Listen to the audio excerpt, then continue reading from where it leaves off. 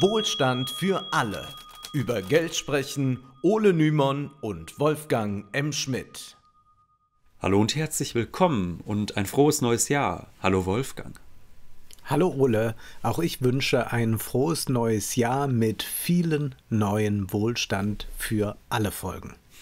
Vor einigen Wochen kursierte auf Twitter ein Clip eines YouTubers, der sich The Dogecoin Millionaire nennt. Dieser Nutzer hat ein besonderes Ziel. Er will mit Dogecoin möglichst schnell Millionär werden und produziert fast täglich neue Videos, in denen er die frohe Botschaft der Kryptobubble verbreitet. Wir alle können reich werden. In einem Video sprach er darüber, wie das Wohlstandsmodell seiner Kryptowährung funktioniert und er sagte, jetzt haben wir ein Ziel. Das Ziel, dass der Dogecoin einen Dollar wert ist. Wir ermuntern alle anderen, wiederum alle anderen zu ermuntern, Dogecoin zu kaufen. Wenn ich es kaufe, bekomme ich es zu einem bestimmten Preis. Wenn du es kaufst, hast du es zu einem bestimmten Preis. Und wenn wir mehr Menschen dazu bekommen, Dogecoin zu kaufen, steigt der Wert, richtig? Na, wenn der Wert steigt, mache ich mehr Geld, machst du mehr Geld, machen sie mehr Geld. Oh wow, lass uns noch mehr Leute dazu bekommen, es zu kaufen und wir machen alle mehr Geld.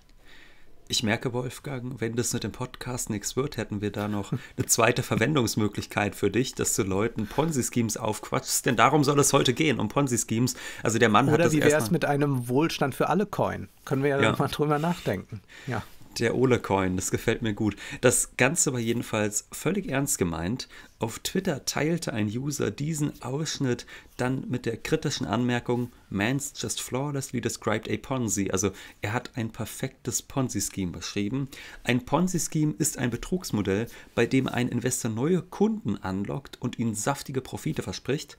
Diese Profite werden aber nicht aus irgendeinem zugrunde liegenden Geschäftsmodell bezahlt, sondern nur aus neuen Kundeneinlagen ermöglicht. Das heißt, um die Profite derer, die einem Geld geben, überhaupt möglich zu machen, muss man permanent neue Leute finden, die da rein investieren. Und in der Geschichte des Kapitalismus hat es solche Betrügereien immer wieder gegeben.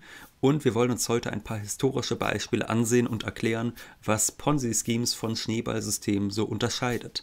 Und am Ende wollen wir uns dann mit der Frage befassen, ob moderne Kryptowährungen auch Ponzi-Schemes sind. Das ist eine Frage, die gerade unter Ökonomen auch international intensiver diskutiert wird. Und wir können schon einmal versprechen, ganz so einfach wird die Antwort nicht sein, vor allem bei Bitcoin. Der Begriff des Ponzi-Schemes führt uns zurück in die erste Hälfte des 20. Jahrhunderts. Charles Ponzi war 1903 im Alter von 21 Jahren aus dem italienischen Parma in die USA emigriert, wo er sein Glück suchte. Er verdingte sich als Busfahrer, dann nahm er einige Gelegenheitsjobs an, aber das reichte ihm nicht. Er wollte reich werden und zwar schnell. Mehrere Betrugsversuche gingen schief. Im Jahr 1919, als er seine große Idee hatte, war er bereits zweimal wegen Betrugs verurteilt worden und hatte Zeit im Gefängnis abgesessen, wie Mervyn Came Lewis in seinem Buch Understanding Ponzi Schemes beschreibt. Du hast es eben schon gesagt, im Jahr 1919 hatte Ponzi dann einen brillanten Einfall Charles Ponzi erhielt Post aus Spanien und diesem Brief war ein internationaler Antwortschein beigelegt, mit dem er kostenlos einen Brief nach Spanien zurücksenden konnte. Und Ponzi bemerkte, dass diese Antwortscheine in Europa viel weniger kosteten als in den USA, da zu diesem Zeitpunkt die europäischen Währungen an Wert verloren. Das hieß, er konnte in Spanien für umgerechnet einen US-Cent einen Antwortschein kaufen, der in den USA dann für 6 Cent verkauft werden könnte. Und diese Preisdifferenz, die wollte er ausnutzen, um das große Geld zu machen. Daran ist erst einmal nichts illegal. Ein Arbitragegewinn, also die Ausnutzung des Preisunterschieds eines Gutes an zwei verschiedenen Orten, ist nicht verboten, damals so wenig wie heute. Viele internationale Händler spekulieren auf diesen Erfolg. Mit der Arbitrage von internationalen Antwortscheinen große Profite zu machen, war jedoch schwierig und so kam Ponzi auf eine andere Idee. Er versprach potenziellen Investoren einfach einen Anteil an großen Arbitragegewinnen, die es in Wahrheit nicht gab. Luis schreibt dazu, Ponzi versprach denjenigen, die sich seinem System als Investoren anschlossen, alle 90 Tage eine 50-prozentige Rendite auf ihre Investition zu erzielen. Er begann seine Tätigkeit am 26. Dezember 1919 und eröffnete sein Unternehmen, die Securities Exchange Company, in der School Street 27 in North Boston. Das Geld für das Anlagesystem wurde aufgebracht durch die Ausgabe von Charles Ponzis persönlichen Schuldscheinen, die wie folgt beschriftet waren. Für die Summe von genau 1000 Dollar deren Empfang hiermit bestätigt wird, erklärt sich die Securities Exchange Company bereit, bei Vorlage dieses Gutscheins nach 90 Tagen die Summe von genau 1500 Dollar an folgende Adresse zu zahlen. 50% Dividende und wohlgemerkt nicht im Jahr, sondern alle 90 Tage. Also ja alle zwei, äh, alle drei Monate. Wie, schaff, wie schaffte Ponzi es nur, diese gigantische Dividende zu zahlen? Etwa wirklich, indem er das Geld seiner Investoren in internationale Antwortscheine steckte und daraus Arbitragegewinne zog? Nein, ganz einfach, indem immer mehr Menschen zu ihm kamen, um ihr Geld anzulegen. Und diese neuen Investitionen, die nutzte Ponzi, um die ersten Anleger zu bezahlen. Den Rest steckte er sich selbst ein. Dann warb er wiederum neue Kunden an und bezahlte mit deren Hilfe die erste Generation von Anlegern und die zweite Generation und so ging das immer weiter. Solange genug neue Kunden kamen, war das überhaupt gar kein Problem. Sie alle glaubten daran, dass Ponzi durch Arbitragegewinne mit internationalen Antwortscheinen seine Profite machte und sie daraus bezahlte. Daran stimmte jedoch nichts. Da ein einzelner Antwortschein wenige Cent wert war, hätte man ja Lkw-Ladungen voller Antwortscheine packen müssen und äh, verschiffen müssen. Also damit hätte man dann ein Geschäft machen können. Und Ponzi hat das auch in Wahrheit niemals versucht. Solange er seiner Garantie nachkam, alle 90 Tage die versprochenen 50% Rendite zu erzielen, fragte ohnehin niemand nach. Die Menschen waren wie im Goldrausch. Ob das ganze System funktionierte bzw. worauf dieses System eigentlich basierte, darauf schaute kaum jemand. Entlang der gesamten Ostküste fanden sich Investoren, die Ponzi ihr Geld anvertraut wollten, und solange die Rendite stimmte, hatte kaum jemand ein Interesse, ihr angelegtes Geld wieder abzuziehen. Ganz im Gegenteil sogar, also viele US-Amerikaner vertrauten Ponzi ihre Altersvorsorge an und dauerhaft konnte dieses Betrugsmodell natürlich nicht funktionieren. Es gibt da nämlich natürlich ein großes Problem, wenn man die Rendite der ersten Generation aus der nächsten Generation wieder decken muss, dann musst du in dieser sehr schnell natürlich zwei Leute finden und dann vier Leute und dann acht Leute und so weiter. Das heißt, äh, dadurch kommt das Ganze sehr schnell ins Rollen. Daher kommen auch diese, kommt auch dieser Begriff des Pyramidensystems, wo wir nachher nochmal erklären werden, wo der genaue Unterschied ist. Aber deshalb ist es sehr schwierig, so ein System dauerhaft am Leben zu erhalten. Und es dauerte dementsprechend nicht einmal ein ganzes Jahr, bis äh, der Erfolg von Ponzi Securities Exchange Company aufflog. Dennoch kann man festhalten, Ponzi schaffte es innerhalb von weniger als einem Jahr, sein Vermögen von wenigen tausend US-Dollar auf mehrere Millionen zu vergrößern. Und wir dürfen auch nicht vergessen, damals waren Millionen US-Dollar noch deutlich mehr wert als heute. Wir sprechen über das Jahr 1920, also vor mehr als 100 Jahren war das. Hätte er sich rechtzeitig abgesetzt, dann hätte er mutmaßlich sein restliches Leben ein sehr bequemes Leben geführt, vorausgesetzt er wäre in einem Land gewesen, wo ihm die US-Behörden nicht auf die Spur gekommen wären. Ja, aus psychologischer Sicht ist es verständlich, wieso Ponzi-Schemes so beliebt sind. Sie ermöglichen ein gigantisches Wachstum in sehr kurzer Zeit, ein Traum, dem viele Menschen bis heute anhängen. Reich werden, ohne dafür arbeiten zu müssen. Am besten so reich, dass man niemals mehr einen Finger rühren muss und das ganze Leben als Rentier verbringen kann. Auf diesen Traum werden wir später noch einmal zurückkommen, wenn es um den Bitcoin geht. Wir wollen nun den Begriff des Ponzi-Schemes erst einmal konkretisieren. Der Ökonom Robert Schiller prägte nämlich den Begriff des Naturally Occurring Ponzi, also des natürlich vorkommenden Ponzi-Schemes Ponzi-Schemes, womit er meinte, dass es mitunter Blasenbildungen gibt, die gar keinen Betrüger zur Ursache haben, sondern einfach falsche Erwartungen. Denken wir an den US-Häusermarkt vor der Krise von 2008. Viele Menschen sahen, dass die Häuserpreise stiegen und investierten deshalb ihr Geld in Immobilien. Die allgemeine Entwicklung der Preissteigerungen schien ihnen darin recht zu geben. Diese Beobachtung stachelte wiederum andere Menschen an, auch in Immobilien zu investieren, und so kam leicht dann eine Rückkopplungsschleife an Erwartungen zustande. Wir wissen, dass diese Blase dann spätestens 2007 und 2008 platzte. Das wäre jetzt eine ganz normale Blasenbildung, bei der man nicht einfach einen schuldigen Betrüger finden kann, sondern bei der ein Herdenverhalten fehlgeleiteter Erwartungen zu massiven Fehlinvestitionen führt. Diese zwei Phänomene sollte man unserer Meinung aber äh, nach aber möglichst scharf voneinander trennen und sie auseinanderhalten, weshalb dieser Begriff von Schiller wahrscheinlich mehr Verwirrung stiftet, als dass er Gutes tut. Also nochmal, wir würden sagen, ein Ponzi-Scheme, das ist ein Betrugsschema, bei dem mindestens der Betrüger eine sehr, sehr rationale Sicht auf die Dinge hat, während eine Blasenbildung ja eigentlich von einer kollektiven Irrationalität lebt. Übrigens muss bei einem Ponzi-Scheme nicht nur der ursprüngliche Betrüger eine rationale Sicht auf die Dinge haben. Es kann gut sein, dass auch Teilnehmer den Trick durchschauen und dennoch investieren. Sie spekulieren dann darauf, dass das Modell, das immerhin schon ein paar Runden überlebt hat, weiter Bestand haben wird und hoffen darauf, dass sie rechtzeitig den Absprung schaffen, bevor das Schema aufliegt und zerbricht. Es haben also nicht nur die Schöpfer solcher Betrugsmodelle rationale Erwartungen, manchmal gilt das auch für die Teilnehmer. Nun haben wir über Charles Ponzi gesprochen, der offensichtlich ein Betrüger war. Es kann aber auch Geschäftspraktiken geben, bei denen das gar nicht so einfach ist, genau festzustellen, ob es sich da um ein Ponzi-Scheme handelt, wie Kaushik Basu, der von 2012 bis 2016 Chefökonom der Weltbank war, 2014 in einem Working Paper festgehalten hat. Darin beschreibt er Ponzi-Schemes, bei denen nicht Kunden, sondern Mitarbeiter betrogen werden. Wie das? Indem man hochqualifizierte Mitarbeiter einstellt und ihnen anstelle eines ihrer Qualifikation angemessenen Lohnes Aktienoptionen gibt.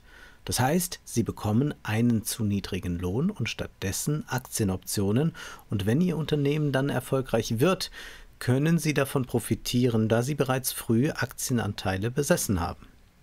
Basu schreibt dazu, stellen Sie sich ein Startup-Unternehmen im Silicon Valley vor das hochqualifizierte Hochschulabsolventen einstellt und ihnen ein Paket anbietet, bei dem der Lohn an sich nicht attraktiv sein mag, aber bei dem Aktienoptionen ein hohes zukünftiges Einkommen versprechen.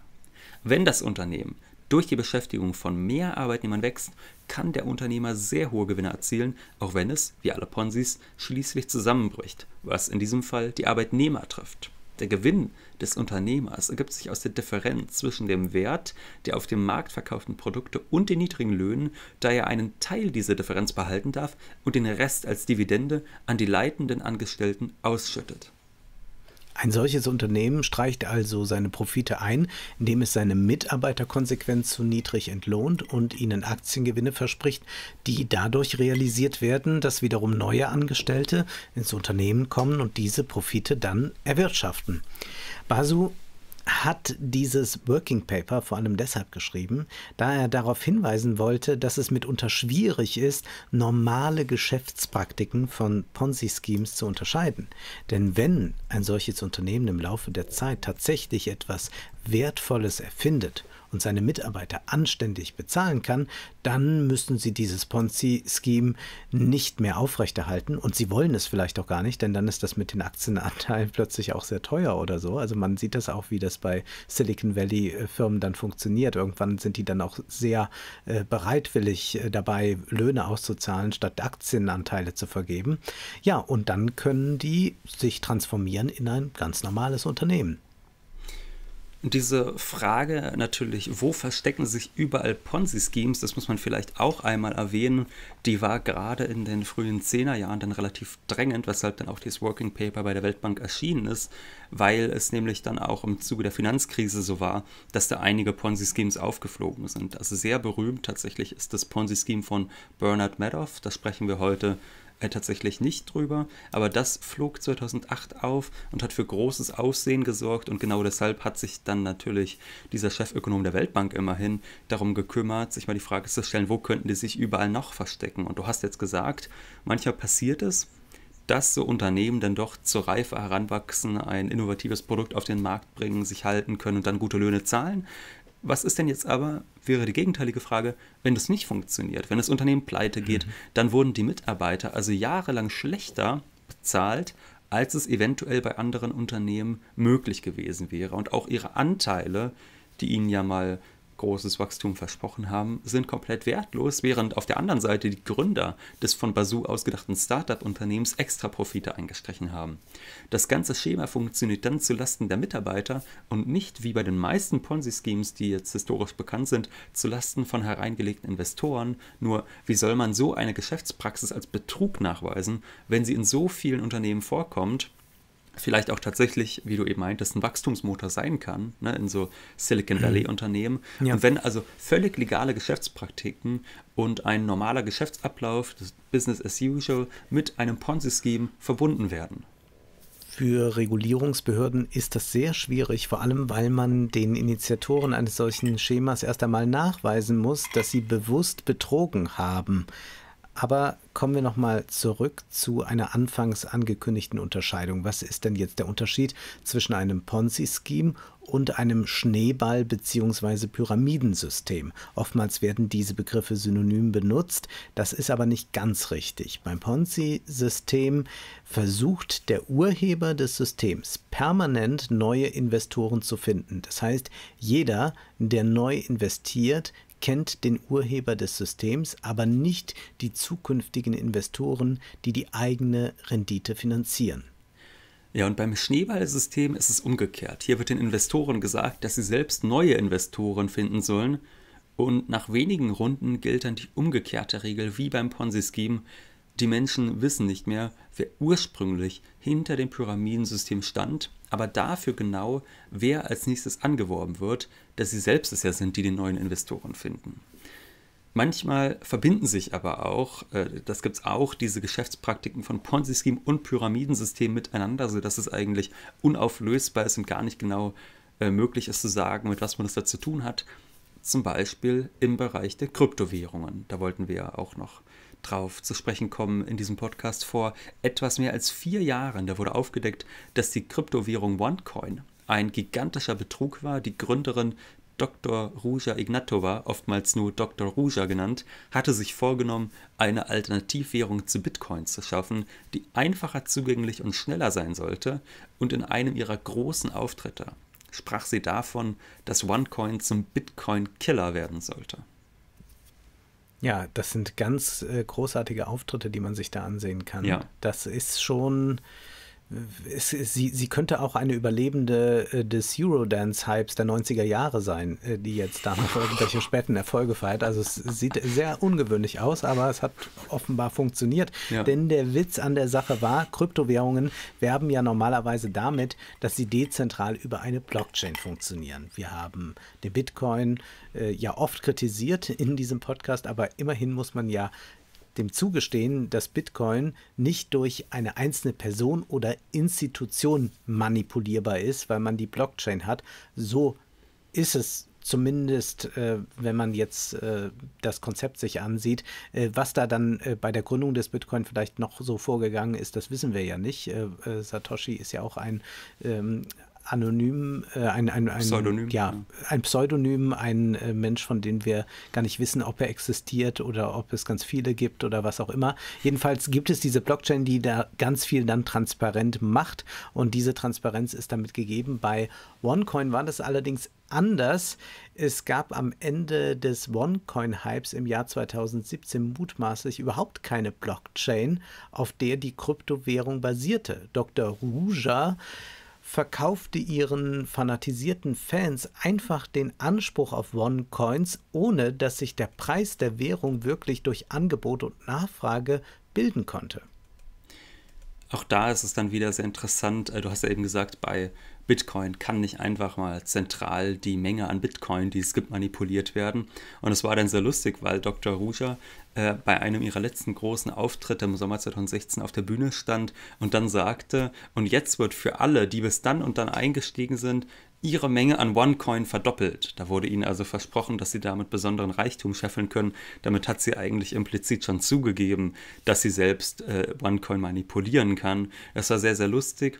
Und äh, tatsächlich laufen bis heute dann noch Gerichtsprozesse. Also kürzlich gab es, glaube ich, erst eine Gerichtsverhandlung, wo dann gesagt wurde, ja, anscheinend hat es doch eine Blockchain gegeben, auf der die OneCoins aber nie drauf waren. Also die dann nur äh, für die Zukunft mal geplant war, die zu benutzen. Also es ist eine sehr interessante Geschichte. Jedenfalls konnten die OneCoin-Fans diese Kryptowährung die eigentlich noch nicht mal diesen Namen verdient, nicht handeln. Sie konnten nirgendwo damit etwas kaufen. Sie wurden stets hingehalten. Ihnen wurde versprochen, dass eines Tages dann der Moment kommen werde, an dem OneCoin öffentlich handelbar sein würde und dass sie dann zu den glücklichen Ersten gehören würden, die das OneCoin-Potenzial erkannt hatten und dadurch reich werden könnten. Und letztlich argumentiert ja jede neu entstehende Kryptowährung ganz genau so. Da wird immer gesagt, ja, seht euch mal den Bitcoin an. Der war auch mal ganz klitzeklein. Und wer damals nur 50, 100 oder vielleicht sogar ein paar hundert Euro investiert hat, der ist heute Multimillionär. Und diese Hoffnung schüren eigentlich alle neuen Kryptowährungen, so auch Ruja Ignatova, die global über, sage und schreibe, 4 Milliarden Dollar einsammelte, bevor der Betrug aufflog. Und seit Herbst 2017 ist sie komplett von der Bildfläche verschwunden niemand weiß, wo sie sich befindet, beziehungsweise ob sie überhaupt noch lebt. Ja, oder das Leben genießt, denn Geld müsste ja dann ausreichend vorhanden sein. Ja. Hier können wir sehen, wie sich das Ponzi-Schema mit dem Pyramidensystem verbindet. Die Teilnehmer kannten die Initiatorin Dr. Ruja. Diese war binnen kurzer Zeit eine Kultfigur in der Kryptoszene geworden, die mit zwei Doktortiteln und Erfahrungen bei Großbanken sowie einem schillernden Auftreten Autorität beanspruchen konnte. Gleichzeitig versuchten die OneCoin-Fans selbst neue Kunden zu akquirieren, um den Kurs in die Höhe zu treiben. Hier verbinden sich also die beiden Betroffenen Betrugsschemata. Und wir sehen, dass alle Ponzi-Schemes mit ein und derselben Hoffnung arbeiten. Sie versprechen schnellen Reichtum für einige wenige, die früh genug ihre große Chance erkennen. Und oftmals sind diese Menschen regelrecht fanatisiert. In dem Podcast The Missing Crypto Queen über Ruja Ignatovas OneCoin-System wird das wunderbar ersichtlich. Da wird eine ehemalige Teilnehmerin oder Investorin, sagt man vielleicht eher, interviewt, die hatte tausende Euro selbst investiert und hat vor allem ihrem beka gesamten Bekanntenkreis dann empfohlen, OneCoin zu kaufen, was ihr dann natürlich auch zugute gekommen wäre, denn sie glaubte ja daran, dass der Preis von OneCoin sich durch Angebot und Nachfrage bildet und sie dadurch den Preis in die Höhe treibt. Und sie warb dann insgesamt Gelder in Höhe von über 100.000 Euro ein. Und als ein Bitcoin-Experte ihr dann erklärte, dass hinter OneCoin gar keine Blockchain steckte, wollte sie es erst gar nicht glauben. Sie verweigerte sich dieser Realität vollständig, wie sie in dem Podcast berichtet.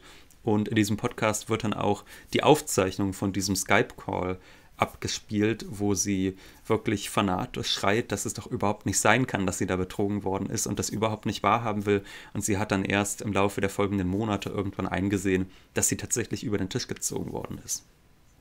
Nun hat der Bitcoin ebenfalls fanatisierte Fans und auch wenn Kryptowährungen wie Ethereum und Bitcoin im Gegensatz zu OneCoin tatsächlich auf der Blockchain-Technologie aufbauen, lohnt sich auch hier die Frage, handelt es sich um ein Ponzi-Scheme? Denn letztlich steigt der Bitcoin nur im Wert, wenn immer mehr Menschen in ihn investieren.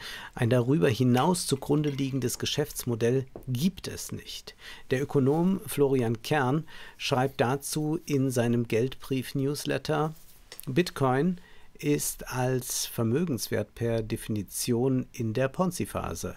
Während Aktienkurse etwa durch erwartete zukünftige Gewinne erklärt werden, gibt es außer der Annahme, dass jemand schon auch zukünftig Bitcoin kaufen wird, keinen fundamentalen Grund dafür, dass Bitcoin einen Wert habe. Der DAX steigt langfristig auch dann im Wert, wenn keine neuen Anleger in ihn investieren. Einfach dadurch, dass er ein thesaurierender Index ist, Das heißt, dass er so berechnet wird, dass die in der Regel aus den Gewinnen gezahlten Dividenden der Unternehmen wieder in den Index investiert werden. Nun gibt es ja zwei Gründe, warum man Bitcoin kaufen kann. Entweder weil man daran glaubt, dass die staatlichen Währungen bald zusammenbrechen werden und stattdessen Bitcoin den Siegeszug antreten wird. Der Gründer des Bitcoin, der unter dem Pseudonym Satoshi Nakamoto bekannt ist, der beschreibt ja genau darin die Überlegenheit des Bitcoin. Er ist nicht durch eine zentrale Instanz manipulierbar, zum Beispiel durch eine staatliche Zentralbank. Und wenn wir jetzt tatsächlich uns mal darauf einlassen und den Bitcoin nur als Ersatzwährung verstehen, dann kann man wahrscheinlich kaum von einem Ponzi Scheme oder einem Pyramidensystem, die genauen Begrifflichkeiten sind jetzt mal völlig egal an dieser Stelle, sprechen, auch wenn Bitcoin, wie wir schon mehrfach erklärt haben, niemals diese Funktion haben kann, denn eine deflationäre Wirkung verträgt sich nicht mit kapitalistischem Wirtschaften. Denken wir hingegen über den Bitcoin als eine Anlagemöglichkeit nach, wie es die meisten ja tun, dann ist die Funktionsweise in der Tat einem Ponzi-Scheme sehr ähnlich. Denn normale Assets generieren Cashflows durch ein zugrunde liegendes Geschäftsmodell. Wer Aktien kauft, bekommt Dividenden aus den Unternehmensgewinnen. Wer Immobilien kauft, dessen Cashflow entspringt Mietzahlungen. Ganz anders ist das beim Bitcoin. Hier steigt der Wert nur durch den kollektiven Glauben an das Allheilmittel Bitcoin und die Erwartung auf zukünftige Gewinne, die permanent auf Social Media genährt werden. Denken wir nur an die vielen Bitcoin Bros auf Twitter, die allen anderen ungefragt Have Fun Staying Poor Memes in die Kommentare hauen. Dazu schreibt Kern, Entsprechend machen Aktiengesellschaften anders als Kryptowährungen nie Werbung dafür, ihre Aktien zu kaufen. Werbung machen nur Fondsgesellschaften oder Depotbanken, deren Dienstleistungen wir für den Kauf von Aktien benötigen. Volkswagen macht jedoch keine Werbung, dass wir ihre Aktien kaufen sollten. Aktieninhaber rufen nicht höhnisch zu Immobilienkäufern, habt Spaß dabei arm zu bleiben. Kryptoeigentümer hingegen müssen das tun, da sie damit neue Käufe anlocken ohne die Ihr Portfolio nicht im Wert ansteigen könnte.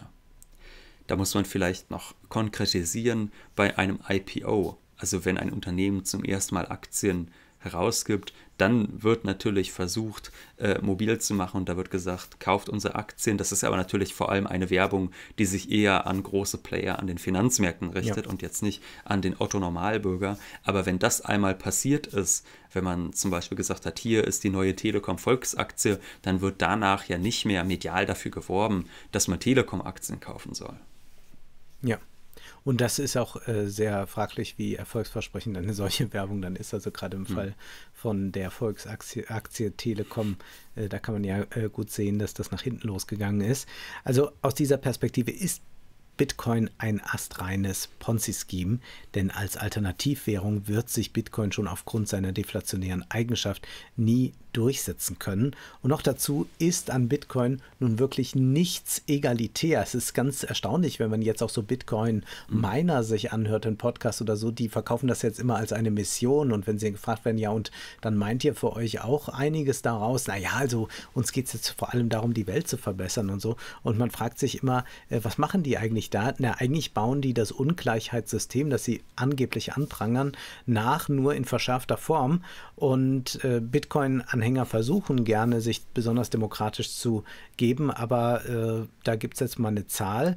Dem National Bureau of Economic Research zufolge besitzen 0,01 Prozent der Bitcoin-Besitzer 27 Prozent aller Bitcoins.